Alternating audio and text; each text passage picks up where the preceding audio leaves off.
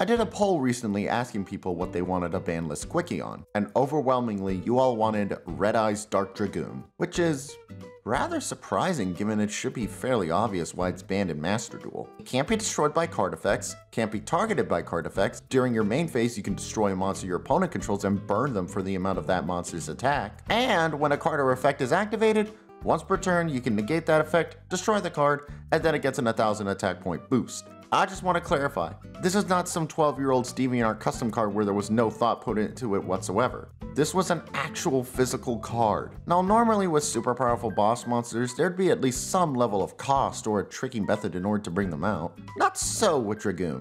All you needed to do was use Red Eyes Fusion or Verte Anaconda to bring him out. It's pretty obvious to see why he was banned, except not in TCG? But isn't the TCG supposed to be more gung-ho about banning and limiting to stupid levels? While the OCG has a lot more rogue and control decks, and Dragoon gave those kinda decks comical levels of power over combo decks. When Dragoon arrived in TCG, it came when powerful combo decks like Adamancipator, Drytrons, and Dragonlinks were so popular that it got lost in the shuffle.